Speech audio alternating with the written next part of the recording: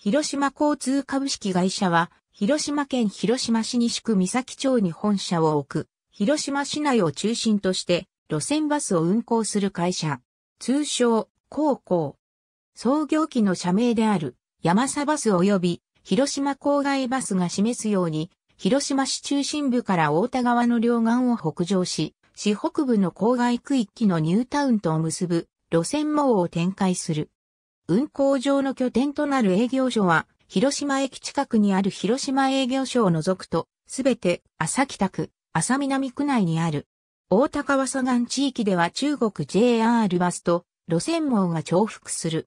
なお、山形郡の区域は昔、三段橋や大朝まで乗り入れていた時期があったが、現在は乗り入れていない。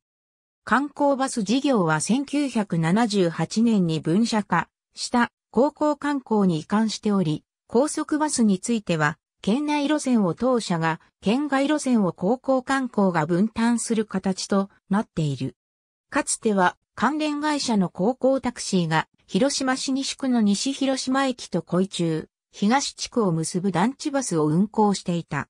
運行するバスの例詳細な運行案内は、各路線の記事並びに、外部リンクの広島交通サイトを参照。詳細な運行案内は、外部リンクの広島交通サイトを参照。富士重工車体の車両富士エクスプレスから中古で買った元八甲バスの日のポンチョのバスなんと珍しいアルミホイール車。ありがとうございます。